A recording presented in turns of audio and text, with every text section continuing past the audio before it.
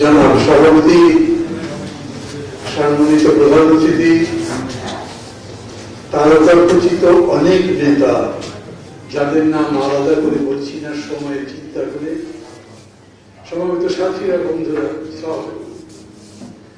আমি বিএনপির এই সুবর্ণ জয়ন্তী পালন, সুবর্ণ জয়ন্তী উদযাপন কমিটির পক্ষ থেকে যে অনুষ্ঠানের আয়োজন করেছেন, তার জন্য তাদেরকে আন্তরিক ধন্যবাদ জানাচ্ছি। আমাদের দেশে সবচেয়ে বড় সমস্যা হচ্ছে, এই দেশের ইতিহাসটাই ঠিক মতো রচনা করা হয়নি। যারা ক্ষমতায় আছে, তারা এই ইতিহাস ঘিরে খাওয়ার চেষ্টা করছে। ইতিহাসের কান টানতে টানতে এরকম লম্বা করে ফেলেছে যে ইতিহাস তার জায়গায় নেই, কোনো একটা ব্যক্তি, কোনো একটা গোষ্ঠীর কোনো দলের, কোনো পরিবারের পকেটে করেছে ঠিক সেই রকম সময় আপনারা ইতিহাসে একটা সঠিক সময়কে সঠিক পটভূমিকে চিহ্নিত করার জন্য যে উদ্যোগ নিয়েছেন, তার জন্য আমি আপনাদের ধন্যবাদ জানাচ্ছি। সাথীরা এবং বন্ধুরা মৌলানা ভাষা নিয়ে একজন মহিল সমব্যক্তিত্ব মোট ছিয়ানব্বই বছর বেঁচে ছিলেন এতগুলো বছর, এত লম্বা সময় আলোচনা করা কিন্তু সহজ নয় যদিও যখনই আপনি তার সম্পর্কে আলোচনা করতে যাবেন, তার জীবনই তো আলোচনা করতে হবে। আপনাকে জানতে হবে উনি কেমন মানুষ ছিলেন, কি কি করেছেন কি কি তার অবদান? কোনো ভুল ত্রুটি ছিল কিনা আমাদের একটা সমস্যা আছে বাঙালিদের। বাঙালি জাতি, আমরা হয় গলাগলি করি, না হলে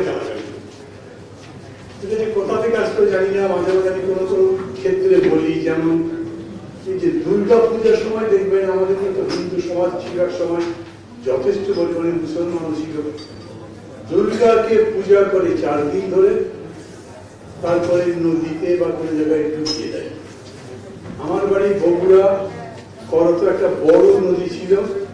সেইখানে ডুবাতে যায় কিন্তু দুর্গা অর্ধেক পর্যন্ত ডোবেন, বাকি মাথা উঠিয়ে তখন উপর থেকে লাঠি দিয়ে লাঠি দিয়ে গুটিয়ে গুটিয়ে ওটিকে ডুবিয়ে দেওয়া যে দেবীকে চার দিন পূজা করা হলো, পানির অভাবে অস্ত্রধায় নয় এরকম একটা ঘটনা।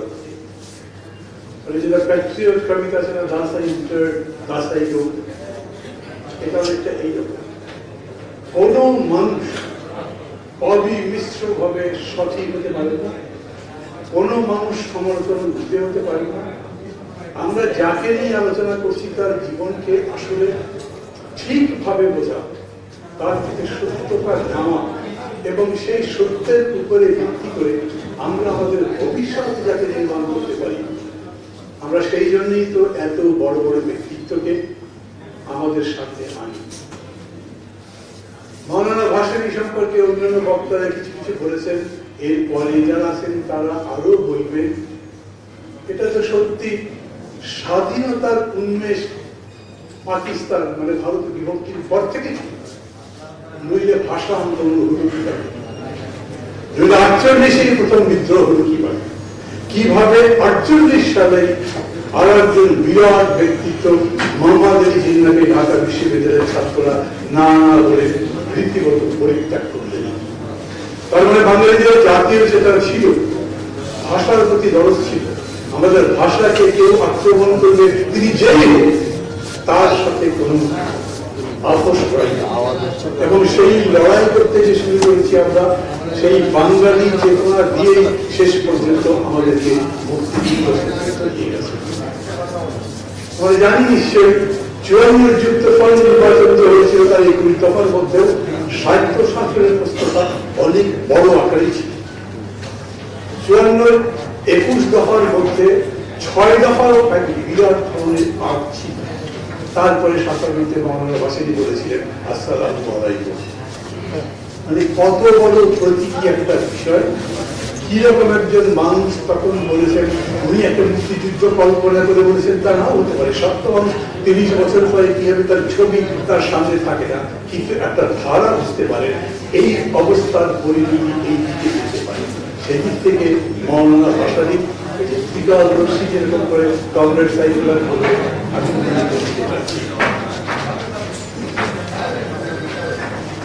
আমি বলি আবার, এর মানে এই নয় যে আমি বলব ছিয়ানব্বই বছর প্রস্তাবিত তিনি একটা একক চীনের চেয়ারম্যান মাও সেতুন সম্পর্কে চীনের পার্টি মূল্যায়ন করবে মাও সেতুন চীনের জনগণের কাছে অনেক বড় আমি মাপ যোগ ভাষানি নাকি শেখ মুজিব নাকি মৌলানা ভাসানি যে যার কাছে যেরকম, সেই অর্থে মৌলানা ভাসানি সেখানকার একক অভিষেক মাফ করবেন। মাও সেখানকার একক অভিসম্পাদিত কিন্তু সাংস্কৃতিক বিপ্লবের পরে যখন তার স্ত্রী আর তিনজনকে নিয়ে একটা কুচক্র করে পুরা চাইলের ইতিহাস বদলে দেওয়ার চেষ্টা করল, এবং তার স্ত্রীর বিরুদ্ধে কোনো ব্যবস্থা করতে পারবেন না। পরিবর্তন পরে চীনের পার্টি মূল্যায়ন করে বলল মাও সেতুন সত্তর ভাগ বিপ্লবী ছিলেন, তিরিশ ভাগ বিপ্লব বিরোধী কাজ করেছিলেন। আমি আবার চীনের মতো পার্টি মাও সম্পর্কে মূল্যায়ন করতে পেরেছে। আমাদের দেশে এইরকম মূল্যায়ন আমরা কল্পনা করতে পারব? কোনোদিন কেউ করি ধরেন মহামানা ভাষণে নিশ্চয়ই ত্রিকালদর্শী ছিলেন। আমি, আমার নিজের মধ্যে অনেক সময় হয়। উনিশশো সত্তরের নির্বাচন তিনি বর্জন করেছিলেন কেন? সত্তরের নির্বাচন বর্জন করিবার পক্ষে কেউ কেউ যারা তার সাথে তখন ছিলেন, এখন পর্যন্ত তার মতো তারা বলেন করেছেন। উনি যদি নির্বাচন করতেন, তাহলে ভোটটা ভাগ হয়ে যেত। তাহলে শেখ মুজিবুর রহমান আওয়ামী লীগ যেরকম করে একক সংখ্যা বঞ্চিত পেয়েছিল তার বেতনা আমার তখন মনে হয় আচ্ছা একশো চৌষট্টি বা ছেষট্টি আসনের মধ্যে যদি ধরেন ষাটটা দেখ ভাষানি পেত একশোটা পেত দুজন মিলেই স্বাধীনতার লড়াই করতে পারতো, তাহলে স্বাধীনতার পরে শেখ মুজিবুর রহমান যে করে একদলীয় স্বৈরাচারী শাসন করেছিলেন, সেটা হতে পারত ধারণার কথা এটাই যে সত্য, যেরকম করে আপনারা ঠিক ঠিক বলছেন, তা কিন্তু নাও হতে পারে। উনি ওনার মতো করে কিছু একটা ভেবেছিলেন, যেটাই ভাবুন না কেন, এটা তো ঠিক। মহামাদা ভাসানি শেখ মুজিবকে রীতিমতো পুত্রের মতো এবং শেখ মুজিব যখন জেলে, তখন তিনি যেরকম করে রাজপথে আগুন জ্বালিয়ে দিয়েছেন। সত্যি সত্যি আগুনের কথা বলছি না, আন্দোলনের আগুন। আপনাদের কারও তো বলেছে, যাদের বয়স আছে নিউ ইয়র্ক টাইমস কভারেজ তৈরি করেছিল মৌলানা ভাষাকে ভাষা নিয়ে প্রফেট অফ ভায়োলেন্স এবং এটা সত্যি, সেই সময় মৌলানা ভাষা যদি পথে না নামতেন তাহলে শুধু তোফান আহমেদের নেতৃত্বে ছাত্র সম্মান পরিষদের আন্দোলন এতদিন পর্যন্ত যেতে এই জন্যই মৌলানা ভাষাটি আমাদের কাছে স্মরণীয়।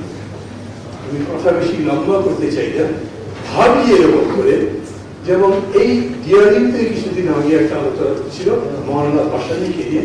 সেখানে কেউ কেউ বক্তৃতা করতে যে করে বললেন আর যদি মহানাথ মহানাথ ভাসানি জীবিত থাকতেন, তার মতো একটা নেতা আমাদের দরকার আচ্ছা আপনারা ভাবেন তো ধরে আজকে এই পরিস্থিতিতে মৌলানা ভাসানি জীবিত আছে।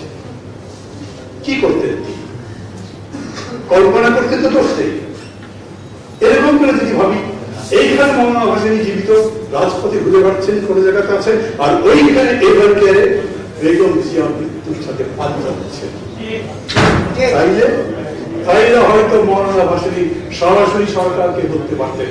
চব্বিশ ঘণ্টার মধ্যে তাকে মুক্ত করো, বিদেশে চিকিৎসার ব্যবস্থা করো। নাইলে আমি অনুসরণ শুরু করলাম। আমার মৃত্যু, আমার, আমি মারা যাব, কিন্তু তার ব্যাপারে ব্যবস্থা এটা বিশ্বাস করতে ইচ্ছা করে, কল্পনা করতে ইচ্ছা করে, সেই রকম ব্যক্তিত্ব চাই। আমাদের জনগণের জাতির সামনে সেই রকম নেতৃত্ব চাই। বাস্তব তো হচ্ছে যে মৌলানা ভাষায় এখন নাই। আমি এই কথা বলে শেষ করব। যারা উদ্যোগ নিয়েছেন আজকে উদযাপন কমিটি, যারা আমরা এখানে এসেছি এবং যারা এখানে বসে বসে শুনে শুনছেন, সবাই মনে করেন আমাদের প্রত্যেককে এক একজন মৌলানা ভাষা নিয়ে করতে হবে তাইলে এই স্বৈরাচার থেকে, এই অত্যাচার থেকে জবরদখলকারীদের থেকে আমরা মুক্তি পেতে পারি। তাছাড়া আমাদের মুক্তি ভালো থাকবেন সবাই খোলা হাফেজ। ধন্যবাদ